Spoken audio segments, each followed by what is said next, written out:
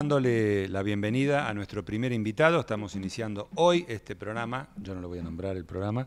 ¿Por Este, qué? dígalo usted. Me encanta Fabri Stream. Bueno, una ¿O cosa. no? ¿Eh? Suelto, suelto, ya Suelto. estamos. Bueno, nunca me Solta. pasó. Ego, Este, un poco de ego. Sí, Diego. ¿no? Eh, pero la bienvenida se la damos a Martín Guzmán, que está en persona aquí con nosotros. Gracias, Martín, por venir. Un gran placer. Felicitaciones por el nuevo ciclo, Alejandro. Bueno, bueno, gracias, Muchas gracias. gracias. Este, No sé venía- si ahí está bien o lo acercamos más al Yo micrófono. voy a ir levantando. Sí. Ah, muy bien. Es un micrófono direccional, así que hay que estar atento más a- al micrófono. Bueno, cuando hablamos por teléfono te contaba Martín que bueno, la idea es hablar bastante de fútbol y bastante de, de- de actualidad, de política. Este, yo empezaría por el costado más difícil, que es el fútbol. No, no. Por- Hoy no es para hablar. A ver, si, si la nota la hacíamos en diciembre del año pasado, teníamos la asunción del nuevo gobierno y gimnasia jugando el desempate por el descenso. O sea, era un, para vos, en tu caso, hincha de gimnasia, era un programa duro, pero zafaste de una, por lo menos. De, de una fuerte. Y Sí. Que quedó libre, este, que quedó definido con el descenso de Colón y Gimnasia mantuvo la categoría. Y hoy tiene un equipo que parece que no estaban estos jugadores el año pasado porque es otra cosa, Gimnasia, ¿no? Bien, alguno que también estaba y no jugaba. pero- Claro.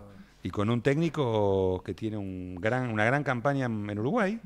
Y bueno, lo encontraron, y así como le tocó a lo mejor a Gregorio Pérez en algún momento, ¿no? Digo, no sé, Luis Garisto, eh, uruguayos, hemos digo, que fueron Varios uruguayos. varios uruguayos y están rindiendo bien, ¿no? Este, pero bueno, ¿para dónde vamos? Este, ¿A dónde vamos? Eh, eh, te, te digo rápido una cosita antes de hacerte la pregunta. Se estuvo viviendo con mucha atención el tema de la ley de bases este, en el Senado, todas las discusiones, cómo se iban revelando cuestiones indignas, como el tema de la senadora Krexel, este, los diputados, los senadores correntinos, y después uno se va enterando de la embajada en la UNESCO, eh, la posibilidad de salto de la represa para la provincia de Entre Ríos. Bueno, una cantidad de cosas que demuestran que nada cambió en cuanto a eso. En otros tiempos también ha pasado, no es que esto es nuevo. Esto es como hablar del fútbol, que como no hubo un árbitro corrupto o, un jugador o lo que fuera. Eso ya lo vivimos, pero eh, terminó siendo una votación insólitamente igual a la, a la del famoso 38-38 en la AFA y a la del famoso mi voto no positivo de Julio Cobos. Eh, ¿Sirvió para algo esta, esta manera que tuvo el Senado de poder frenarle los ímpetus al proyecto tal como venía concebido? Porque ahora nos estamos enterando que en diputados la orden del gobierno es tratar de evitar esas modificaciones que dicen muchos fueron mínimas este, y volver a implantar lo que, lo que ya se, lo que fue rechazado. Mira, va- vamos para un lugar que eh, lamentablemente no es bueno para la Argentina. Mm. Lo que pasa es que el gobierno es nuevo y lógicamente todavía hay gente que tiene esperanza y eso para una sociedad es sano. Si la esperanza se perdiese muy rápido, seríamos muy inestables. Sí. Pero lo que se está haciendo es construir un país que va a tener más desigualdad y para mucha, mucha gente menos oportunidades. Entonces, esa esperanza yo creo realmente, Alejandro, que se va a ir perdiendo. Lo que viene pasando en- en- desde las políticas que hace directamente el gobierno, como en el diálogo con el Congreso, muestra muy claramente que hay una gran defraudación desde lo que dijo Milei en la campaña, de que el problema de la casta e iba a atacar a la casta, Sí. y lo que se realiza. Se gobierna para la casta. Eso es lo que ocurre. O hay integrantes de la casta que integran el gobierno de Milei, en todo Por caso. supuesto, gobierna la casta en la Argentina hoy. Mm. Y determina políticas que son políticas clasistas, donde hay, a ver, te doy un ejemplo, mi, eh, mi padre, mi papá la pasa peor porque el valor de la jubilación le cae. Yo voy a pagar menos impuestos. Eso está mal desde cómo se constituye una sociedad. ¿sí? En esta ley que se aprobó, la ley Bases, eh, lo que termina ocurriendo es que vuelven a la Cámara de Diputados medidas fiscales, en donde si la Cámara de Diputados tiene una, eh, la mitad más uno que apruebe, mayoría simple, que apruebe lo que ya se aprobó en la Sí. primera instancia, va a salir así. ¿Ok? Y eso ¿Puede es- modificar algo? Digo, supongamos que no la vota, sí, pero la- en la Cámara de Diputados se puede modificar algo, algún detalle o no? Si A, sale, a ver, tiene- ahí técnicamente e- es Porque tema es para discutir, engorroso, pero sí. sí, pero lo que vamos a lo práctico, lo que va a ocurrir es que eh, va, se va a apuntar a la mayoría simple para que el proyecto que habían presentado el gobierno, que es el que aprobó diputados, salga como fue. Ah. Eh, y hay una discusión que es muy difícil en toda sociedad, que es cómo se financia un Estado. Y el Estado es muy importante en toda sociedad, porque el Estado financia la educación para que los chicos puedan básicamente tener oportunidades, Sí. financia parte de la salud, financia la infraestructura en la que nos movemos, la calle en la que llegamos, la justicia, la seguridad. Y la forma de financiar eso es con impuestos. Siempre es así, es la única manera. Bueno, este gobierno elige hacer un ajuste en donde lo que hace es darle un alivio a los, po- a lo- a los ricos al mismo tiempo que le está cobrando más a los jubilados, que le está cobrando más a la clase media. Eso es lo que está ocurriendo. Y cuando vos tenés una sociedad que es más desigual, es muy difícil que esa sociedad prospere. Es muy difícil que las reglas de juego se puedan eh, mantener estables en el tiempo, porque en algún momento nos enojamos.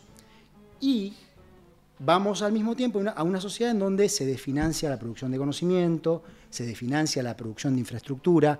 ¿Por qué habría de irnos mejor si tenemos menos conocimiento en la sociedad, si tenemos menos infraestructura? Entonces, cuando me preguntás hacia dónde vamos, vamos hacia un lugar en donde, no te digo que vaya a haber una implosión, porque eso no va a ocurrir, pero en un lugar en donde otra vez va a haber frustración.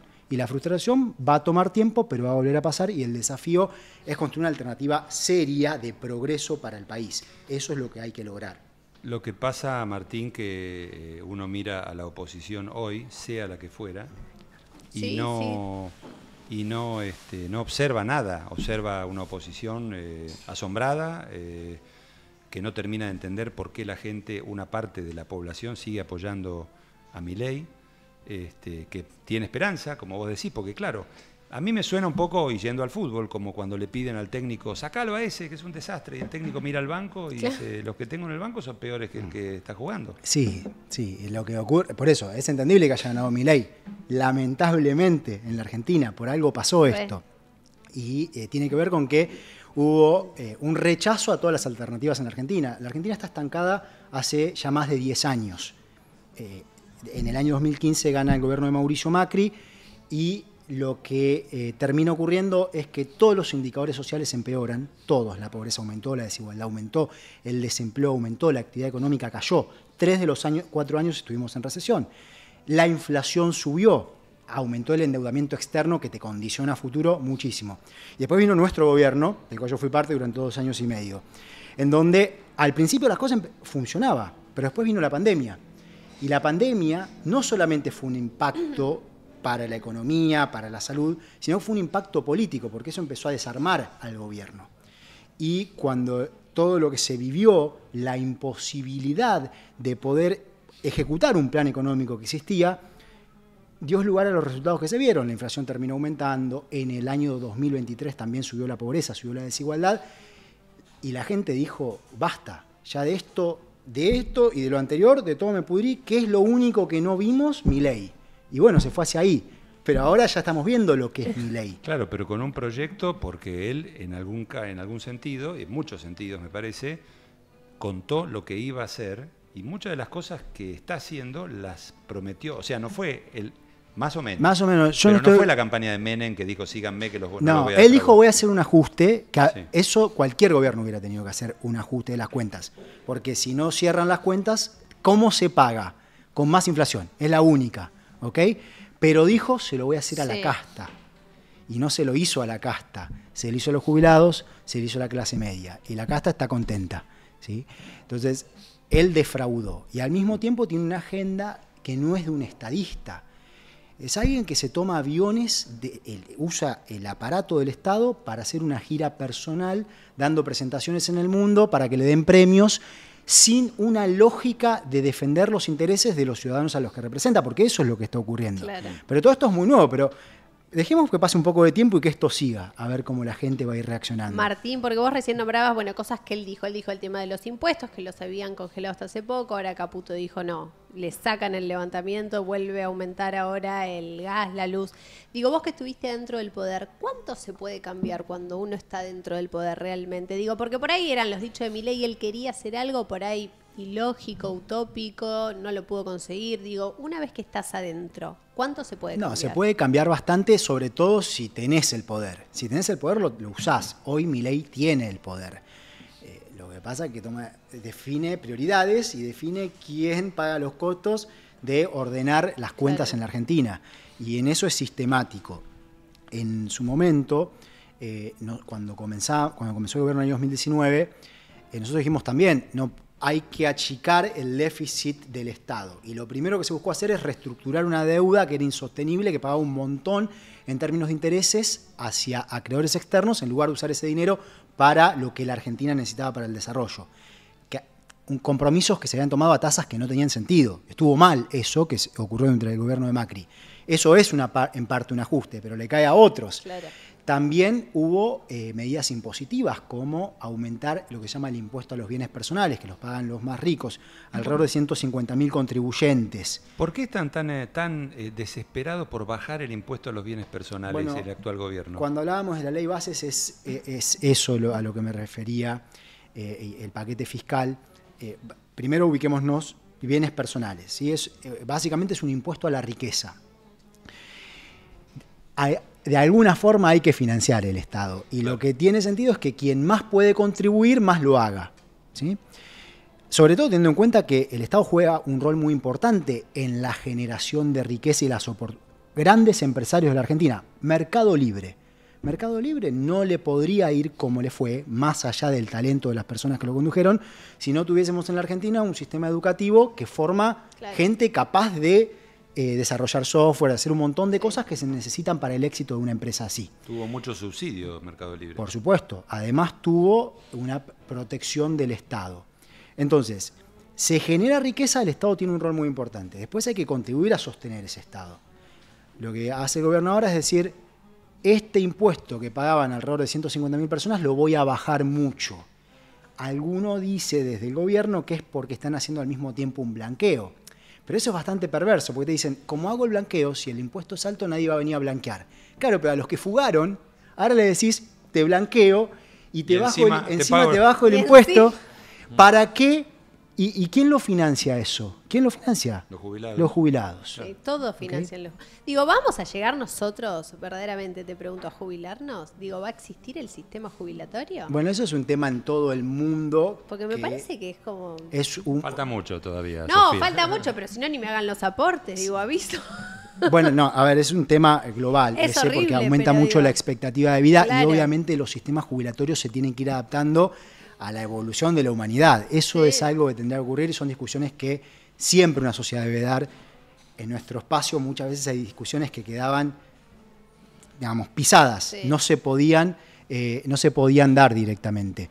Eh, pero eh, hoy la discusión está en otro lado. Hoy la No, discusión porque está. todos los gobiernos le meten la mano a los, a los jubilados. No todos, no todos. ¿Cuál no la metió? No, digamos, seamos justos, durante la época de Cristina las jubilaciones crecieron muy fuertemente. Sí. Durante eh, el gobierno nuestro lo que hubo fue cuando no crecían se compensaba con bonos para evitar que cayeran, al menos hasta mediados del 2022.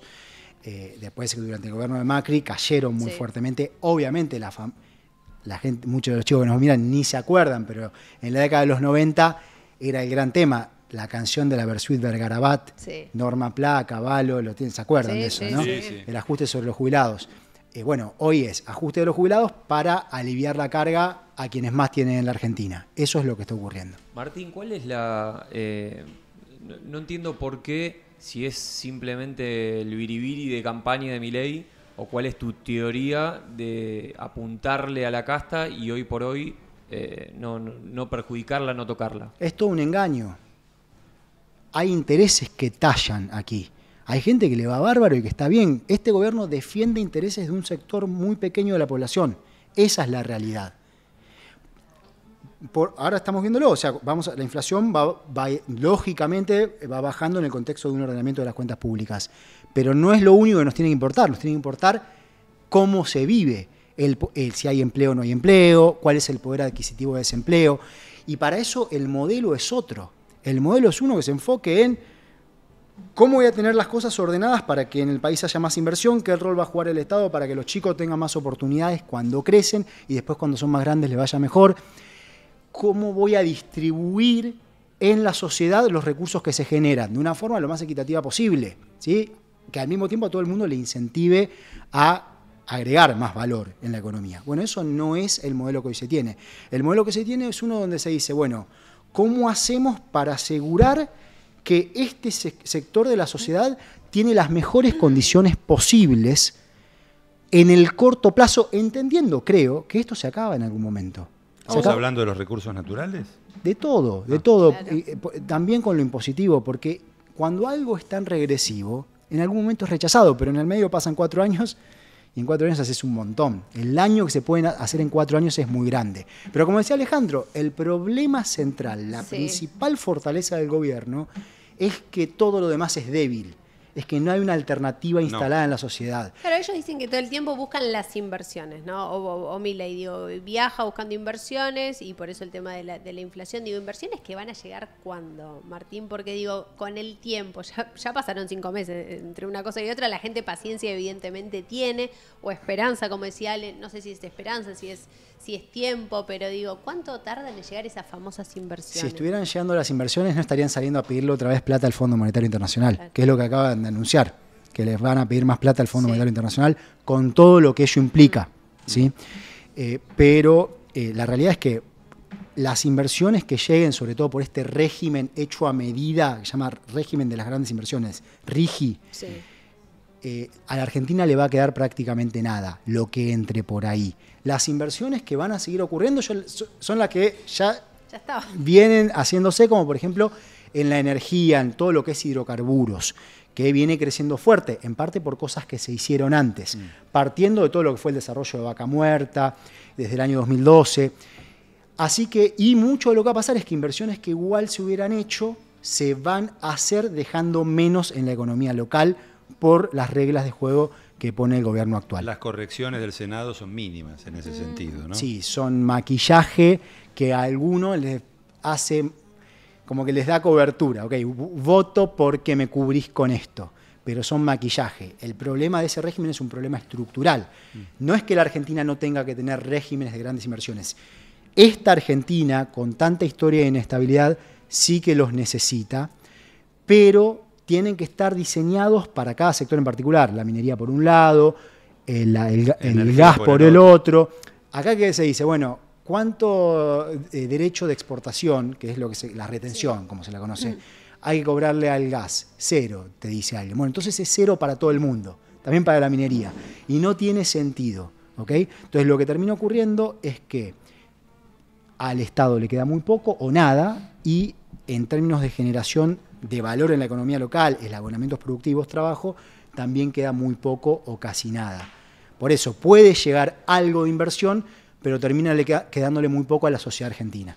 Hay una comparsa periodística que acompaña todo esto con la explicación de que desde el viejo discurso del Sogaray de que pasar el invierno en la década del 50, para acá siempre ha habido sectores de los medios de comunicación y de los grandes poderes que permanentemente dicen lo mismo. Eh, y, a vos te tocó afrontar cuando asumiste como ministro de Economía, este, primero la negociación de la deuda privada, si no me equivoco, que salió exitosa, podemos llamarlo de una manera. ¿Se, la puede catalogar como exitosa? Y le dio al país alivio fuerte durante muchos años. ahora, ahora, le voy a explicar. Bueno, eh, y después el famoso préstamo que recibió Macri del Fondo Monetario. ¿Es verdad que el préstamo eh, que recibió Macri era, eh, había sido pautado que se pagaba, se devolvían dos años? Eh, un poco más que eso, pero muy corto tiempo, imposible de pagar. O sea, no había manera de pagarlo. No había manera de pagarlo en los tiempos previstos, imposible. Por eso hubo que negociar. Para, justamente la negociación fue para no pagar. ¿Pero por qué hicieron eso? ¿Adrede? ¿Negligencia? esto es una historia muy importante para entender el presente de la Argentina. Recordemos, esto, entendamos que la historia es un continuo que nos deja en un lugar hoy. Nosotros tuvimos la peor crisis de nuestra historia en el año 2001. Todos nosotros, bueno, ustedes son sí, no, más jóvenes, pero 36. nosotros nos acordamos bien. Yo estaba, yo estaba. ¿Sí? éramos la año 2001. Fue la peor crisis, del, estaba incendiado el país, terminamos con un corralito bancario, tasa de desempleo en 23%. Eh, terrible las calles cortadas, ajuste a la educación. Y la Argentina, después de esa crisis, tiene una recuperación muy fuerte, ¿ok? Por unos años. Pero tiene un conflicto con un grupo de, bonistas internacionales que se llaman los fondos buitres. Sí. Esto pasó hace no tanto tiempo y todavía sigue importando. Que lo que hicieron fue, el país ya no podía pagar la deuda. Sí. Fueron a comprarle esos bonos que el país no podía pagar. El bono es un contrato, una promesa de pago. Que valía muy barata. Si te decían te, te debo un dólar, valía 10 centavos. Si no, lo, estaba rota la promesa de pago. Y demandaron al país. No quisieron negociar una reestructuración en los juzgados de Nueva York. Y terminaron ganando. Y Macri llega a un acuerdo con esos fondos. Y les paga una... El fallo era una locura, absurda. Ganaron 1.270% de, de retorno. Entonces Macri llega a un acuerdo. ¿Y cómo les paga Macri? Toma nueva deuda. ¿sí? En el mercado financiero internacional, Sí. Wall Street toma deuda, en el año 2016 Argentina reaccede, otra vez volvemos a endeudarnos en dólares bajo leyes extranjeras. Y entra un montón de deuda, deuda, deuda y deuda. Y en el año 2018 el mercado le dice al gobierno, se acabó, no nos gustas más, no nos gustan más de esto funciona. No la- tiene más ojos no hay lluvia de inversión, no tiene Se más- acabó. Exactamente, se acabó. ¿Y qué hace el gobierno? Va al Fondo Monetario Internacional. ¿Quién gobernaba en Estados Unidos? Donald Trump Sí. que quería apoyar al gobierno de Macri. Entonces, con Europa haciendo silencio, el Fondo Monetario Internacional aprueba el crédito más grande de la historia, de toda la historia del El FMI se creó después de la Segunda Guerra Mundial, en 1945. Nunca le había prestado tanto a un país. ¿Ok? ¿Y en qué se usó esa plata? Se usó en hacer rutas, en hacer escuelas, en invertir en mayor capacidad del sector energético en la Argentina, en hacer un gasoducto. No, no se usó un solo dólar en nada que dé progreso. Se usó en financiar que los que habían venido a especular a la Argentina, entrando dólares, cambiándolo por pesos, pudieran ahora cambiar los pesos por dólares e irse, y que, la, que ya tenían deuda que era impagable, les pagasen igual. Y esa deuda quedó. Bueno, esa es la deuda que hoy existe. Eso es lo que después se, se negoció refinanciar para no pagar. Y eso es un problema para la Argentina y hay que evitar que la Argentina tome un solo dólar más de deuda con el Fondo Sí. Monetario Internacional, porque nos condiciona, nos condiciona como nación en la forma en que funciona esa institución. ¿sí? Y hoy el gobierno está diciendo, vamos a pedir más plata. De hecho, le mandaron una carta a la directora gerente, que esto fue publicado creo que el día de ayer o antes de ayer, en donde dicen, vamos a querer iniciar un nuevo programa. Todo esto es información pública, ¿no? Mm. Ahora, al mismo tiempo de esto, eh, Milei dice que él es un topo en el Estado que llegó desde adentro para destruirlo. O sea, es una situación un poquito... Que él no cree en el Estado. No, no, lo dijo siempre, ¿no? sí. Entonces, vos eh, estás dando todas estas explicaciones y lo que, le- lo que los funcionarios del Estado, liderado por Caputo en este caso, están pidiendo, pero al mismo tiempo el presidente eh, tiene una postura casi adolescente en determinados momentos. Esto generalmente lo dice fuera del país, ¿no? Fue a Davos también y dijo un par de disparates que los países de Europa capitalistas son socialistas, ante la mirada atónita de los jefes de Estado. Digamos, un es una situación rara, Sí, por lo sí. menos nunca, nunca vista. Los que tenemos algunos años, este, no, vimos semejante cosa nunca. Sí, no, claramente no es un estadista. Lo mismo cuando se empieza a pelear con España, de la forma en que lo hace, sin contemplar lo que implican las relaciones eh, diplomáticas y bilaterales en general para el, clima de inversión. ¿Por qué las empresas eh, españolas van a querer pelearse con su propio gobierno? ¿no? Al mismo tiempo que dice que quiere que haya inversión. Es raro. Pero hoy la discusión en el mundo está en otro lado. O sea, lo que está pasando en el mundo es que llevamos más o menos, te diría, 40 años eh, de una, una globalización eh, que, en donde las reglas de juego se hacen a medida del capital privado. Recordemos que hubo un periodo de prosperidad en el mundo occidental, después de la Segunda Guerra Mundial, que fue tremendo El estado de bienestar. hasta más o menos mediados de los 70. Desde, desde que termina la Segunda Sí. Guerra Mundial hasta Sí. mediados de los 70 son 30, un poquito más, te diría, son más de tres décadas que se dan de prosperidad, el famoso sueño americano en Estados Unidos. Al mismo tiempo, la política exterior de Estados Unidos dañando un montón en la Argentina, promoviendo, y en América Latina, promoviendo golpes de Estado. La guerra de Vietnam. bueno, Eso igual cambia. cambia y lo que tenemos es hoy un mundo donde los ricos básicamente no pagan impuestos. No paga. No, pagan impuestos, No, ni lado. directa ni indirectamente, pagan muy poco, porque usan han- eh, lo que llaman las guaridas fiscales, en donde la tributación es muy baja. Se- son, hay naciones que son inventadas para eso. Entonces, Andorra, las Islas Caimán, este, Bahamas. Exactamente. Todo eso. Isla Caimán, pones la plata ahí. Cuando se habla de la economía de mercado, lo que, y uno lee los Sí. textos históricos, lo que se busca es que las empresas compitan. Esa es la competencia. Bueno, las grandes empresas multinacionales del mundo lo que han logrado es hacer competir a los estados para atraer a las empresas en, vez que, en lugar de que sean las empresas las que compiten entre ellas. ¿Qué quiere decir esto? Que te dicen, si vos Argentina no me das un rigi, yo voy a poner la plata en Namibia o en Nigeria. Así que no me cobres nada. ¿Ok? Una extorsión, digamos. Claro, pero vos fíjate que cuando eso ocurre, cuando los ricos no pagan impuestos, y la, ni directa ni indirectamente, porque las empresas de las que son accionistas pagan muy bajos impuestos, las grandes multinacionales, y el Estado todavía queremos que financie nuestra educación pública, que es muy importante, ¿a quién le cobramos impuestos? Y terminamos cobrándole más a la clase media, más a las pequeñas y medianas empresas, a las pymes. Es cierto. Y entonces empiezan a enojar con el Estado. Y entonces, ¿qué viene? Viene la solución libertaria, saquemos al Estado. Esa no es la línea que se da en los países donde les va bien. El, No hay lo un libertario, libertario. no existe. Ni acá lo hay igual tampoco, porque es No, es tramposo. cierto, eso es tramposo. Porque es tramposo, de- porque además se usa el. Estado para darle beneficios a algunos. Entonces, en el mundo, en los países que les va bien, donde los chicos crecen con oportunidades, la discusión está en otro lado. El libertarismo, no- lo libertario no existe en el mundo. ¿Sí? Yo creo que aquí es la consecuencia de que todo lo demás no funcionó. Entonces, bueno, probamos con esta, pero tampoco No, funciona. Vamos a ciegas, vamos con esto a ciegas y Pero chao. lo- claro, pero sí, pero así es hasta que se empieza a ver. ¿sí? Bueno, ahora es cuando se empieza a ver. El gobierno ahora tiene sus leyes y prometió, mi ley dijo, la economía se va a ir como pedo de buzo para arriba si se aprueban estas leyes. Vamos a ver qué pasa. ¿Ok? Lo que Ah, no. Dale, sí, no, dale, no. dale, dale. No, porque lo miro y, y te hago en la cancha, además, fanático del Lobo, digo, eh, fuiste tapa de, de muchos diarios en Argentina, de los más importantes. Digo, la gente te reconoce cuando vas a la cancha. ¿Cómo es ir a la cancha a ver el Lobo?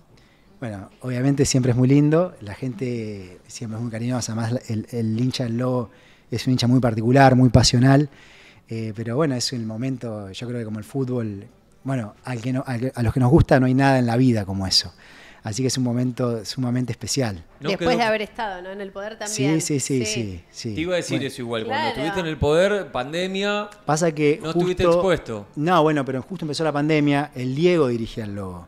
Claro. Eh, yo hablaba con el Diego, eh, maravilloso, y eh, íbamos Pozos de Vélez. Nos ¿Cómo tocaba sabes? contra Sí. Eh, hice ah, la ya tarea. le daste da- diste eh, data. pero nos tocaba contra Vélez, íbamos, iba a ir, pero justo llegó la pandemia, que fue durísimo para todo el mundo. Eh, así que ahí no pude. eh, así que bueno, retomé después. ¿Qué de- hablaste? ¿Qué te quedó de charla con Diego? con el Diego. Nada, bueno, el Diego es. eh, a ver, yo notaba como algo muy, muy auténtico. Te, por ahí te cuento un par de anécdotas de nuestras charlas. Eh, en una le pregunto, eh, Diego, ¿cuál fue el gol que más disfrutaste en tu vida? Y yo pensé que me iba a decir. eh, El de los ingleses. Claro, ¿viste? Y me dijo el, del- el de Palermo al Real Madrid. Me quedé, ¿viste? Y me dice, y porque lo hizo Martín, me dice. ¿Viste algo raro? Y después eh, hubo un momento en donde, eh, bueno, con el gobierno estábamos con el plan hambre. eh, y él, de la nada, sale con ese tema y dice, yo lo que quiero, le dice al presidente, lo que quiero, presidente, es ayudar a que los chicos no tengan hambre. Pero no era un lugar común o lo decía por decir. Vos notabas, viste cuando todo el ambiente como que se cae, se va, bajás Sí. dos, tres cambios. Notabas que había algo ahí muy auténtico, muy de él. Eh, nada, y después, bueno, fantástico, le digo. También cuando estábamos con la negociación, eh, hice un video que al final no salió publicado, eh, siempre apoyando a Argentina. Eh, la verdad que el Diego es un fenómeno. Gimnasia tiene una cantidad de hinchas, este, antes se decía variopintos, porque por ahí tenemos algunas fotos ¿no? que tienen que ver con con los hinchas de gimnasia. Es llamativo. Bueno, todos los clubes viven la misma situación, ¿no? Eh, recuerdo cuando vos le. en las discusiones así, Sí. medio de cancha, dice, no, porque vos tenés a. Sí, pero vos tenés a este. Claro, el fútbol es este, ampliamente democrático, digamos. Sí. No te piden registro de, No, no, ahí- de credencial de nada y por eso es el deporte tan popular. También porque es ilógico, porque de repente podés ganar el partido menos pensado y perdés el partido menos pensado. Pero, a ver, esta señora es hincha de gimnasia. ¿Alguna vez hablaste de fútbol con ella? No. ¿Alguna vez algún comentario, pero mínimo, mínimo? Sí, algún comentario sobre gimnasia, pero mínimo. Muy poquito. No sé cuánto, cuánto le gusta el fútbol. Claro, no, me parece La verdad que que, no sé. te- me parece tiene- que No era Tiene para la- tirar un Tiene la ahí. formación de Sí. gimnasia, pero nada más, en Sí, ese sí, sentido. sí. A ver quién más tenemos ahí. De los hinchas del Lobo. Bueno, te había pasado el Diego antes. Ahí está, bueno, es el más grande que tuvimos. No sé si el más grande, pero de los más grandes, eh, eh, Timoteo.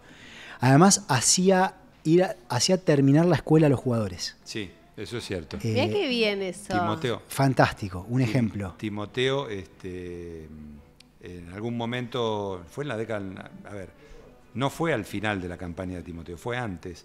Descubrió que había un grupo grande de jugadores que no- algunos no habían empezado el secundario y otros les faltaban materia como los mellizos, como los Barros Esqueloto y como Mariano Mesera, por ejemplo. Y les, les dijo que tenían un tiempo para... Los hacía estudiar, pero no solo eso, sino que en las inferiores, hacia abajo, eh, daba la. la- Básicamente la orden era que todos los chicos tenían que estudiar.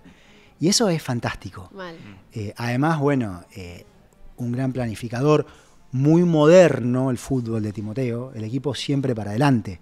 No importa, iba ganando y seguía atacando el equipo.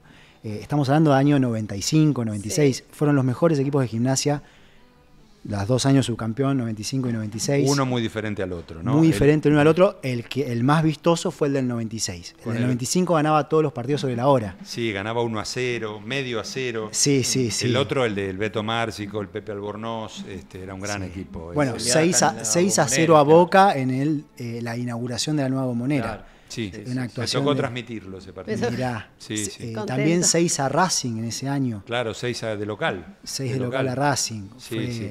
Bueno, vos viste que los jugadores, Ahí cuando rinden ahí. muy bien contra los equipos poderosos, son comprados por esos equipos.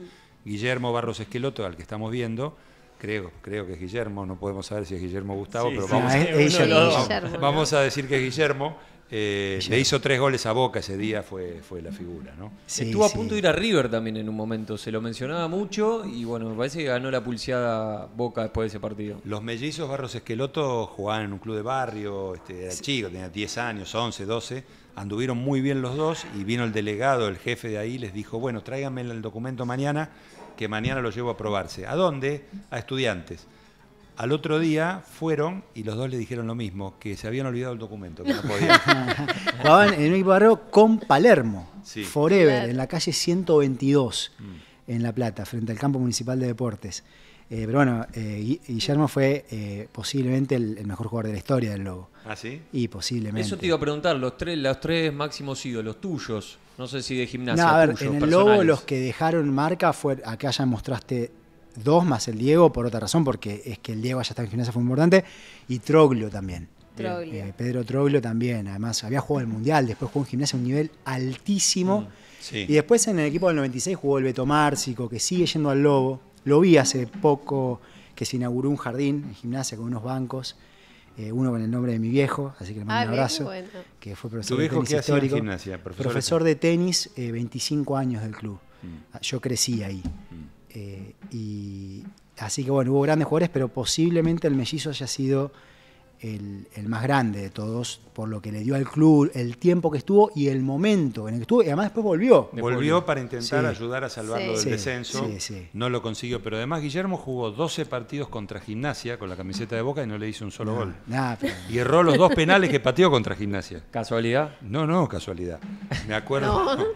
No, no, este, y bueno, la relación con Palermo era nula cuando llegaron a Boca. No se hablaban porque uno era fana de Claro. estudiantes y el otro fana de gimnasia. Sí, pasa con el. Bueno, hay, un- hay- Mariano Mesera, ¿te acordás de Mesera? Sí, claro. Jugadorazo. Sí, Sí. sí. Eh, jugando también por la promoción contra San Martín de San Juan. Eh, en cara se va solo Y el tipo no erraba un pase. Y tiene un pase largo que, bueno, yo no voy a decir nada. Habría que preguntarle a él algún día. Era para Eh, liquidarlo los era para liquidarlo, era Él para San Juan. Perdonó. Sí, él para San Juan. Sí, sí. Hay más fotos, a ver, hay más A ver. fotos. Hay más A ver. Y este es Martín Tetaz, Martín ¿no? Tetaz, hincha del lobo. Hincha del Y la sí. etiqueta en Che, la pero camiseta. que, que la saque la etiqueta, exacto. La, com- la comp- la compró para la foto. La están liquidando. Después le pobre. volvió a decir. Eh, mirá, sí, hincha del lobo, Martín Tetaz Y también. bueno, algo los une, algo. Sí, Porque sí. Él, Bueno, está- él estudió en La Plata, en la Universidad de La Plata, él es muy activo en la pelea para sacar los bienes personales, no sé por qué. para sacar, eh, para que, o para, que no- reducir al mínimo, sí, Ah, siendo ah, radical, bueno, ¿no? Digamos, nada. Bueno. ¿Tenés amigos en la política, Martín? Amigos, sí, sí, la política es bastante interpersonal, o sea, las relaciones importan. Eh, lo emocional es importante. Sí, te juntás, pasas Sí. horas charlando, te haces amigos, Claro, gente. muchas o horas. estás eh, uniendo fuerzas, militando por una causa, por una causa común que es una- es eso, o sea, es la pasión por algo, en este caso del país. Es sí. eso. Le iba a pregun- Enemigos también, me imagino. Le iba a preguntar, me quedó pendiente, eh, y llevándolo al plano del fútbol, firmaste un contrato, digamos, por cuatro años. Por lo que evaluaste, la campaña no era mala, los primeros dos, dos años y medio, eh, y terminaste renunciando, llevándolo como si fueras un técnico. Rescindiendo contrato. Rescindiendo contrato, de mutuo acuerdo. Eh, ¿Por qué? ¿Por qué? ¿Qué analizás? Y sé que sos un tipo autocrítico, también me gustaría que, que evalúes o que digas que, que no volverías a hacer, que no volverías, que no se tendría que volver a repetir del gobierno anterior. Y, y, a ver, la, la situación en la comisión directiva estaba picante con, con el, con el técnico. Había algunos desacuerdos con el técnico. No Eh, tal que no, no, no, no gustaba en ese momento a alguna parte de la comisión el, el- el plan de juego, digamos. Bien. Eh, pero bueno, yo estoy totalmente convencido de que eso era lo que, lo que iba para la Argentina. Eh, es una gran pena que no se haya podido continuar porque la Argentina venía teniendo progreso en el año 2021. Eh, cuando mirás todos los indicadores económicos y sociales, prácticamente todos mejoraban. Eh, menos la inflación, que igual era un poco más baja que en el 2019. Había que profundizar en una etapa ordenando las cuentas, que pague el que lo tenga que pagar y no el que no lo tenga que pagar. Eh, todo eso iba a seguir redundando en progreso. Lamentablemente no se pudo hacer. Sí que creo en una idea para la Argentina y tengo una visión para la Argentina y hoy eh, trabajo mucho para poder eh, construir las condiciones para llevarla adelante. O sea, ¿te gustaría volver a tener un cargo como el que tuviste? Sí, sí, yo, hago acción política hoy en día en el país y, y la política eh, sana, como dice el Papa Francisco, eh, es muy importante y hay que valorarla. La política corrupta hay que acabarla y, y es el instrumento para la transformación. Cómo vivimos al final depende muchísimo de qué tipo de política tenemos.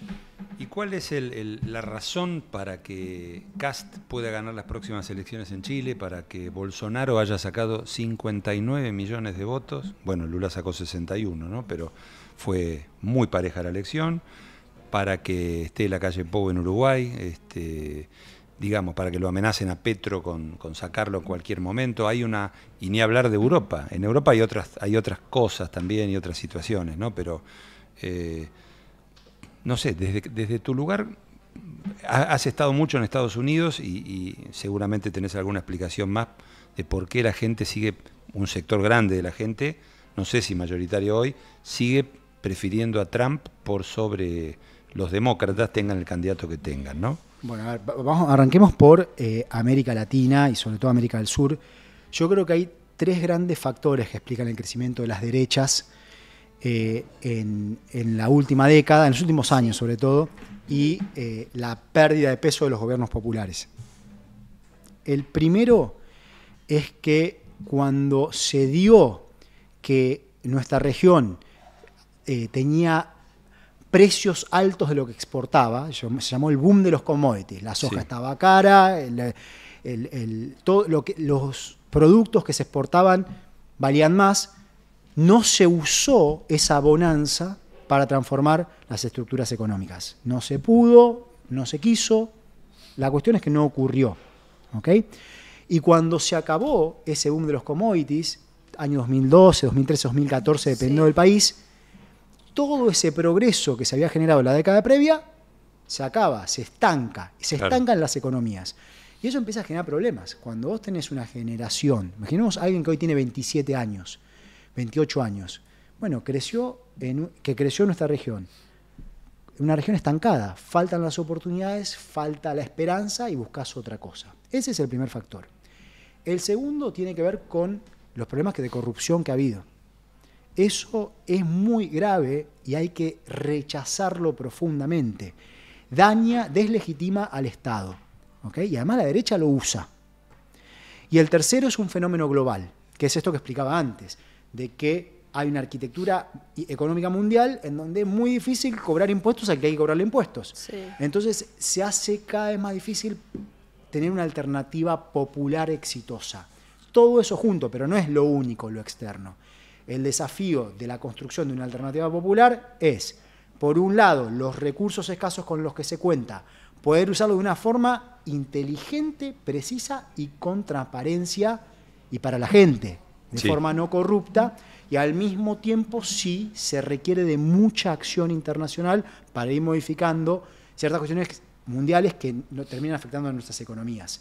Por eso que Lula avanza en el G20, que es el grupo de los países más importantes del mundo, en querer, él ya lo llama el impuesto a los super ricos, eh, cambiar la arquitectura tributaria mundial, eh, las peleas por lo que, las políticas del Fondo Monetario Internacional, todo eso importa. Lo que pasa cuando hace poco estuvimos en el Vaticano con una gran reunión sobre estos temas, toda esa presión global es importante para que podamos construir un sistema económico que funcione para la gente. Pero si no cambia entonces la arquitectura política hoy de Europa, si, bueno, parece que los conservadores van a perder el poder en Inglaterra, este, eh, en Francia están los, los futbolistas, los ídolos franceses, llamando a no votar a la ultraderecha, o en todo caso a pedir que vayan a votar todos, porque cuando pasa eso no gana la ultraderecha. Italia tiene lo que tiene, Pedro Sánchez es permanentemente amenazado, los neonazis en Alemania y en, y en Holanda.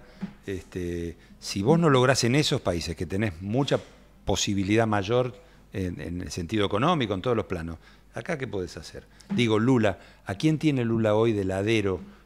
para, desde un que se puede recostar en India, no sé, en China, pero de China te van a decir muchas cosas, ni hablar de lo que te puede decir mi ley.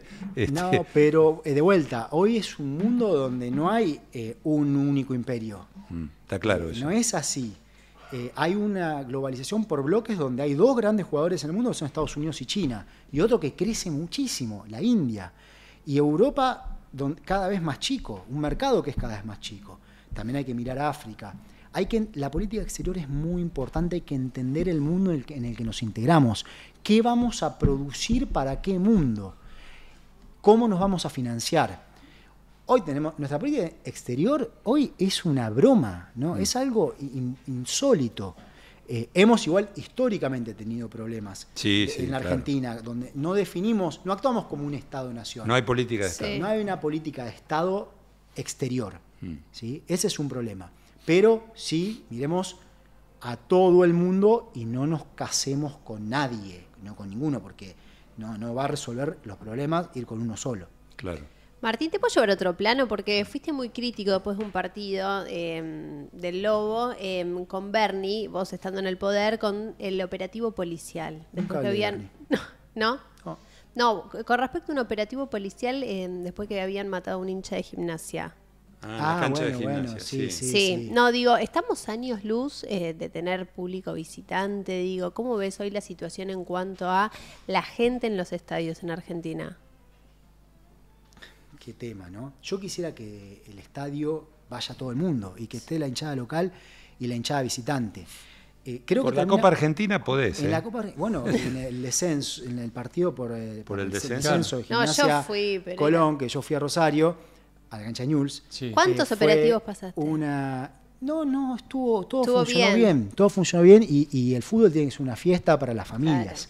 Salvo por lo de Colón, que rompieron toda una platea, pero. Porque descendieron. bueno, porque descendieron. Pero los alrededores No hubo. Eh, o sea, no hubo violencia entre las hinchadas. Exacto. Eh, y el fútbol debería ser una fiesta y las familias tendrían que poder ir tranquilas y viajar. Además, imagínate, vas a otras ciudades, genera cosas buenas para el país. Eh, creo que, eh, hay que es un problema político y en donde además muchos quedan en un camino de la conveniencia. Alguna vez un dirigente de fútbol me dijo, bueno, pero nosotros tenemos tantos socios y si ahora vienen los visitantes... Y pero definamos qué queremos. Lo que pasa es que hay una cantidad de equipos en el fútbol argentino que llenan por sí mismos la cancha. Eso es cierto. Entonces es un problema, porque te Que dicen, no, no, no, tienen capacidad encima. Claro, sus bueno, hinchas. Boca tiene que construir una tribuna donde Claro. tienen los palcos, en realidad va a ser una cancha nueva. Y, y- pero hay equipos, a ver, los equipos rosarinos llenan la cancha solos, Talleres y Belgrano también, Estudiantes de La Plata y Gimnasia también. También, pero a mí me gustaría que los hinchas, que los hinchas de gimnasia podamos ir a ver el partido de visitante y por lo tanto lo- tam- tenemos que aceptar Claro, que, Claro. que sea eh, los visitantes Claro, pero es un poco lo que pasa en Europa. ¿Cuánta gente del Barcelona va al Bernabéu? 700 personas, 1000 en el máximo caso. Y en Barcelona es lo mismo. Estamos hablando de los- del Boca Sí, River de, sí. de- de- de España. Bueno, pero se Son muy puede. Y, y en todo caso es una decisión que no debería pasar por el hecho de que sea imposible controlar la violencia y sea imposible controlar las barras bravas. Eh, no debería pasar por ahí. Y creo que sí habría una presencia, como sí pasa en Europa, aunque sea chica, de las hinchadas visitantes. Me gustaría ver una sociedad más en armonía. Entonces apuntaría bueno. hacia ese lugar. Eh, creo que quedan un par de fotos de hinchas de gimnasia, no quiero decir ilustres porque no es la palabra, pero en todo caso que, que tienen una historia con el logo. ¿Quién eligió las fotos? Eh, mm, La producción, ¿Estamos ¿no? en condiciones de revelarlo? manos, ¿no? Eh, De Luciano. Diego ya había hablado. Sí. De Diego habló. Ahí está, mirá. Peinado a la gomina parece un cantante de tango. Qué buena casaca. Sí. Ese día también le pregunto, eh, pues empezaba el torneo y le digo, me van a matar algunos, ¿eh?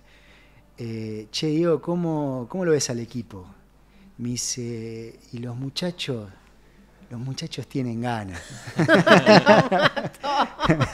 Estaba complicado bueno, Eh, pero terminó. bueno, él muy bien. Está bien. Sí. A ver.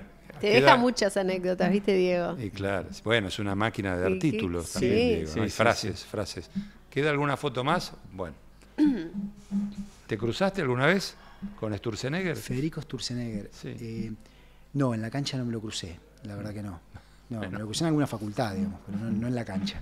Yo me acuerdo de haber ido a transmitir partidos a la cancha de Racing y en la parte de abajo estábamos en un palco transmitiendo y estaban separados por cinco, tres butacas, cuatro. Estaba más allá de Franchella, estaba eh, Ginés González García, Mel Conián, era toda una mezcla. Bonelli, Marcelo Bonelli, este, estaba Miguel Núñez, que era el secretario privado de Néstor Kirchner. ¿Esto en, en dónde? En Racing. En prensa, Racing. sector No, no, no, no, en la platea. Ah, no, una mezcla Sí, hermosa. todos de Racing, todos de Racing ahí se abrazaban. ¿Se abrazaban en los goles no? Y, y, bueno, en algún caso debe haber pasado. Ah, yo creo que te abrazás en el Te gol, abrazás, no ¿o no? no sé, no, no lo viví. ¿Con quién no te Pero- abrazarías, Martín, en un gol? Nah, en un gol del Lobo es el Lobo. Claro. Ya abrazás. Este, ¿Sturzenegger eh, es distinto a Caputo o es más o menos lo mismo?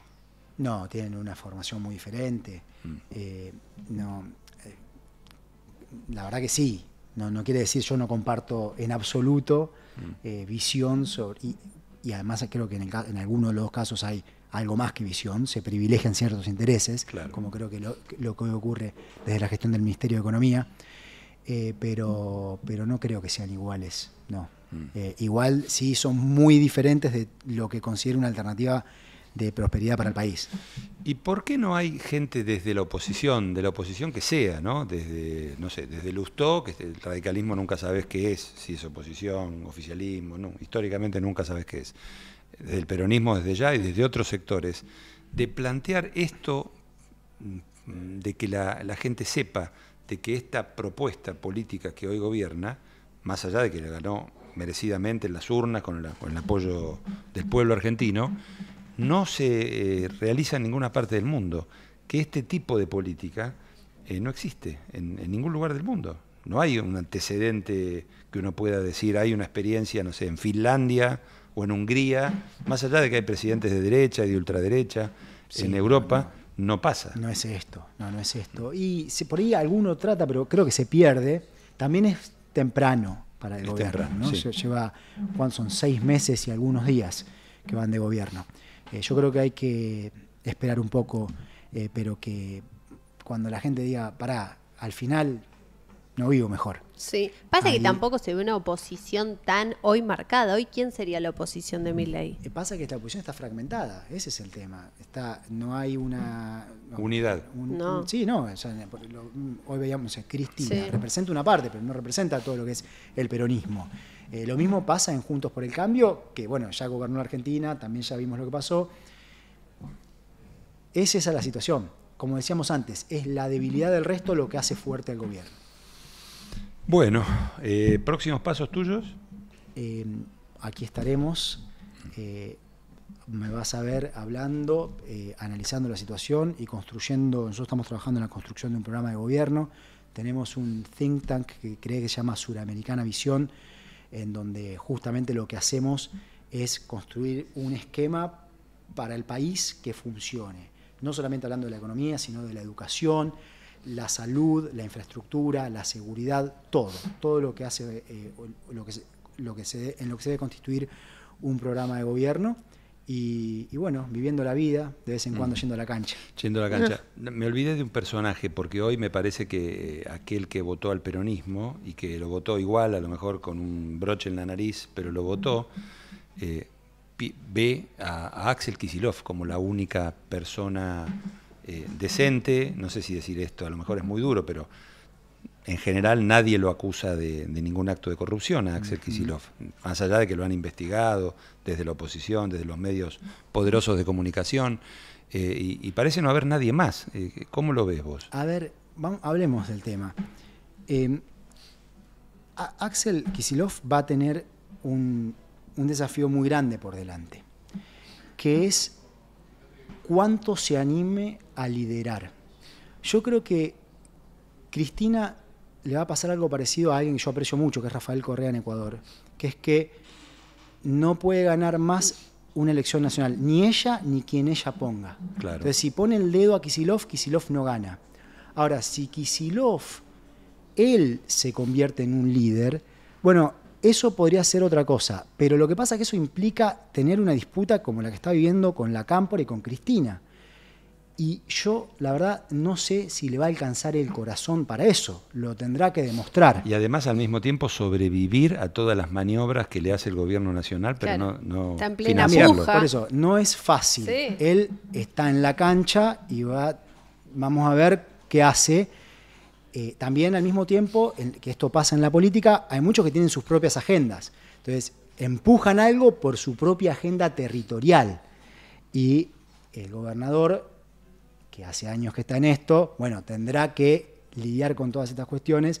Al fin y al cabo, creo que el electorado y gente como mi propio caso, lo que va a terminar evaluando es qué está ofreciéndole al país y qué está ofreciendo no solamente en términos de contenidos para la economía, para lo- los bloques de un programa de gobierno, sino políticamente. Mm. Eh, así que bueno, va- vamos a ver. ¿Te postularías, Martín, vos como presidente? Eh, lo que, no importa tanto el cargo en sí, yo me postularía para lo Sí. que sea en general, en la medida que es, considere que eso es lo mejor para la Argentina en un momento dado. Yo, la forma en que me gusta pensar la militancia es todos contribuir a un proyecto eh, y siempre hay uno que es quien mejor, o una que es quien mejor interpreta de cara a la gente. Eh, y obviamente ya no tendría problemas en eh, ir a una elección de lo que sea si considero que eso es lo mejor para un proyecto dado. Hoy los tiempos están en otro lado. O sea, hoy estamos en unos tiempos de construcción de contenidos, construcción, construcción de un proyecto que sí sea popular, que le mejore la calidad de vida a las mayorías. Te hago la última de mi parte, dale. Te doy la virome. Gimnasia campeón de la Libertadores, pero mi ley reelecto. ¿Firmás o no firmás?